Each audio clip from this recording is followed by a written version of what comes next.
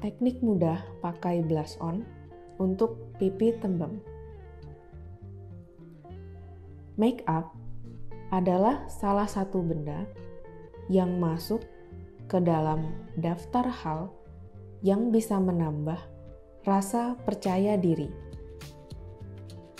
Ada banyak komponen di dalamnya.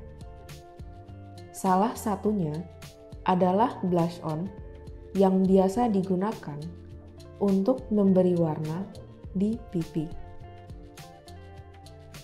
Tapi, jika salah teknik, apalagi untuk wajah yang bulat, malah menambah kesan lebih bulat di wajah. Untuk sahabat secan yang memiliki wajah bulat, kami akan berikan beberapa cara untuk memakai blush on yang tepat supaya pipi tembem kamu bisa tersamarkan dengan cara berikut ini.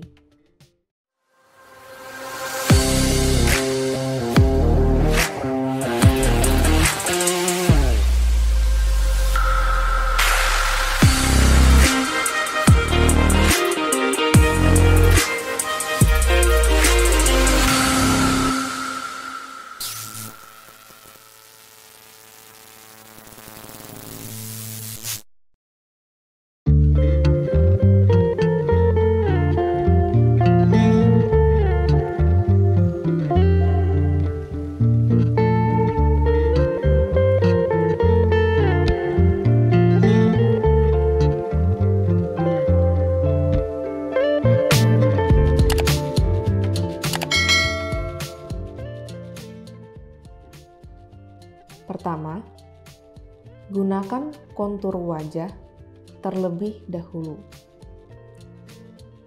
Jika kamu memiliki bentuk wajah tembem, memberi kontur sebelum menggunakan blush on ini bisa membantu untuk menghasilkan ilusi muka yang lebih tirus sahabat secan bisa menggunakan produk kontur yang berbentuk powder, krim, atau liquid. Ini dipakai di area cekungan pipi di wajah kamu. Ilusi lebih tirus ini bisa langsung terlihat jika kamu memakainya. Setelah itu, baru gunakan blush on di pipi. Kedua, pakai di pipi sebelah atas. Untuk kamu yang memiliki bentuk wajah bulat, lebih baik gunakan blush on di pipi bagian atas. Kalau kamu menggunakannya terlalu rendah, nanti malah menambah kesan lebih berisi. Sapukan blush on ke arah luar pada pipi bagian atas. Kalau bisa, hingga ke bagian pelipis. Ini bisa menciptakan ilusi wajah yang lebih bersudut, sehingga terlihat lebih tirus. Ketiga, sapukan secara perlahan. Jangan menggunakan blush on terlalu banyak pada awal. Nantinya akan sulit untuk di blending, sehingga akan menimbulkan warna yang terlalu mencolok di pipi lebih baik gunakan sedikit demi sedikit. Jika warnanya kurang timbul, kamu bisa menambahkannya lagi hingga mendapatkan tampilan yang kamu inginkan. Keempat, memilih warna yang sesuai. jumlah warna pada blush on ada banyak. Tetapi bukan berarti semua warna akan cocok untuk wajah kamu. Pilih warna yang sesuai dengan warna kulit atau undertone dari warna kulit kamu. Dengan pemilihan yang salah, nanti kesan tembem ini akan semakin terlihat. Sehingga, jika kamu memiliki undertone kulit yang cool tone, warna pink bisa menjadi pilihan yang cocok.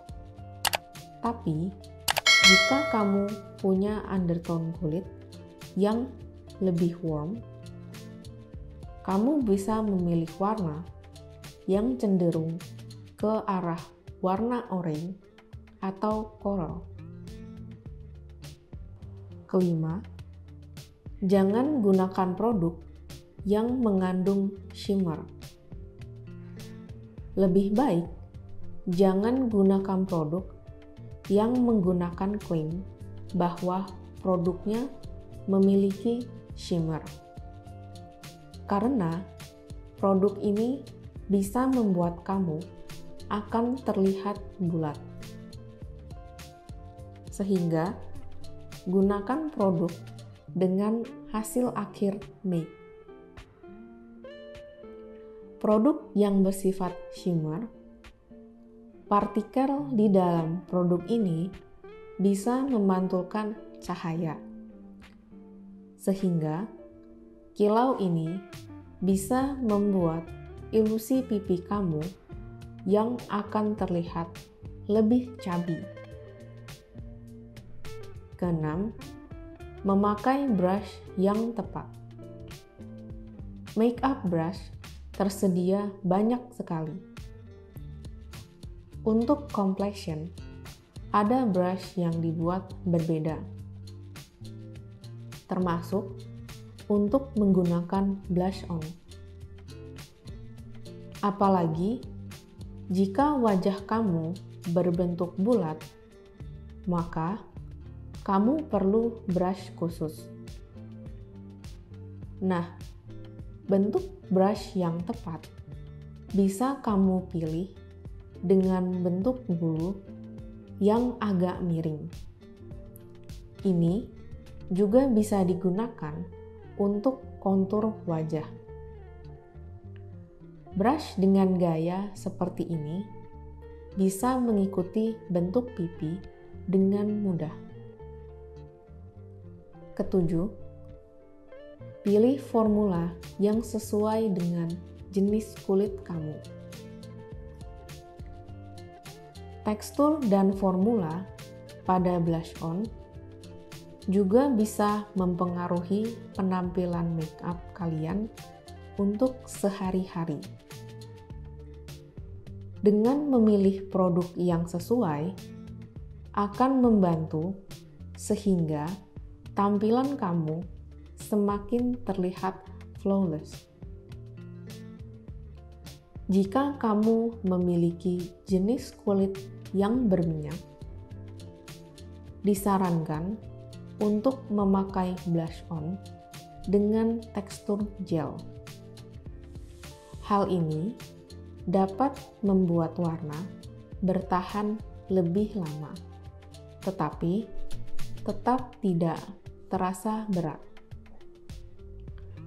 Untuk jenis kulit yang normal, bisa memakai produk dengan tekstur krim. Sedangkan untuk yang memiliki jenis kulit kering, blush on dengan bentuk bubuk adalah pilihan yang paling pas.